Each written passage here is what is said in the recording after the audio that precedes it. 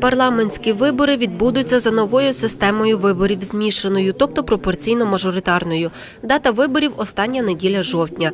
Виборцям пропонують два виборчі бюлетені. Один буде пропорційний, тобто партійний, а другий мажоритарний, тобто особистий. Перший бюлетень відображатиме список політичних партій, другий список кандидатів у народні депутати. Уточнені списки виборців, відповідно до яких буде проводитись голосування, реєстр виборців розпочне формувати 23 жовтня.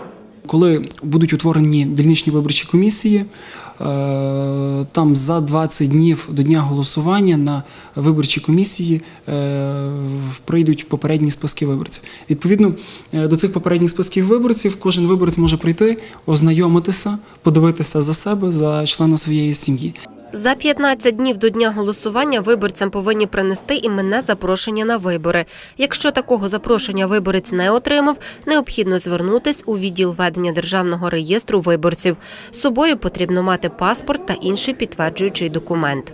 В день виборів виборець себе може внести лише за рішенням суду. Тобто ніякі відділи ведення державного реєстру, ніякі дільничні виборчі комісії не зможуть це зробити.